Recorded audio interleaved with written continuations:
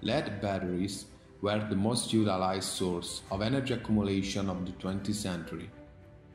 One of the main benefits of this type of battery is the reliability of life cycle and performance with time. To achieve this, one of the essential elements is to have a lead oxide which makes a paste that adheres perfectly to the grid. So you should only have a lead oxide with a tetragonal crystal structure.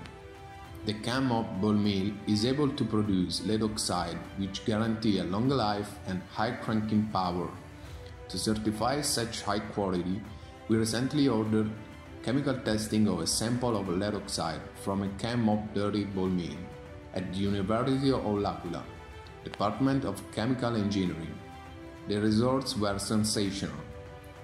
87.8% of tetragonal litharge, 12.1% of lead.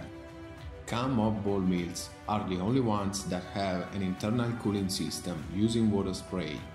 This system has been studied in detail. It is controlled by certain process conditions, and when the ball mill requests cooling, the nozzles spray molecules of water. These molecules of water are sprayed at a certain pressure inside the mill drum so as to not permit instantaneous contact with the oxide bed. This is done to control the temperature inside the mill in a direct manner so that you never have peaks of temperature which could cause the formation of orthorhombic crystals, which are damaging for batteries. This is the only way to achieve 100% tetragonal oxide of the results of the University of L'Aquila confirm this.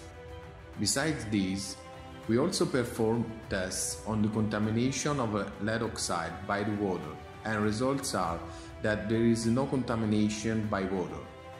To produce lead oxide which guarantee a long life and consistent high cranking power, the CAM MOP ball mill is the solution.